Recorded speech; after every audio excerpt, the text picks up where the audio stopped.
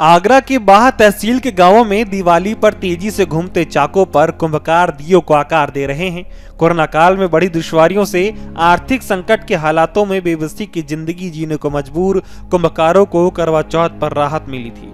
उन्हें अब दिवाली पर अच्छी बिक्री से अपने घर पर खुशियों के दिए जलने की उम्मीद है। इसी के चलते गाँव बिचकोली के नरेश भी दिन रात दिया बनाने का काम कर रहे हैं। उनकी आँखों की रोशनी चली गई है। सुनाई भी नहीं देता। इसके बाद भी वो दिवाली पर लोगों के घरों को रोशन करने के लिए चाक पर दीपक बनाने का काम कर रहे हैं। नरेश ने बताया कि वो बचपन से ही दिए बनाने का काम कर रहे हैं, शुरू से ही उनको सुनाई नहीं देता। करीब 11 साल पहले वो बीमार हुए थे, उचित इलाज न मिलने के कारण उनकी आँखों की रोशनी चली गई थी। इसके बाद भी उन्होंने काम करना बंद नहीं किया। नरेश पर दो परिवारों के पालन पोषण की ज़िम्मेदारी है। उनका एक आठ साल का बेटा सुमित है। घर की आर्थिक स्थिति बिल्कुल ठीक नहीं है। कोरोना के कारण पिछले दो साल में काफ़ी नुकसान हुआ है, लेकिन इस बार कारोबार की उम्मीद है। Video desk Amar Ujala dot com. Download करें अमर उजाला ऐप और पाएँ खबरें लगातार।